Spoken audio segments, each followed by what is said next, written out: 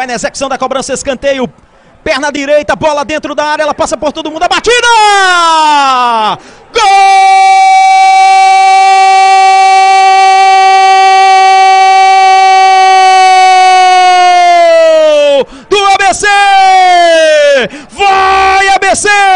Vai Paulo Sérgio!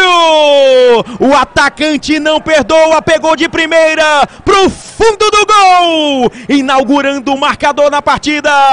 Agora Imperatriz 0, ABC 1. O que é que só você viu, Felipe Rolim? Bem batido. O domínio, vem o ABC, tenta clarear, balançou pra cá, pra lá, Jailson, bate! Golaço! Gol!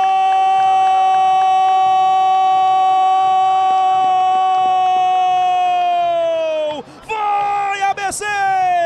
Vai, Jailson! Um golaço aqui nos aflitos! Categoria, frieza, qualidade do Jailson. Ele balançou pra cá, pra lá e chapou no canto esquerdo do goleirão Jefferson, que nada pode fazer. Inaugura o marcador na noite de hoje aqui nos aflitos. Agora, Náutico tem zero, ABC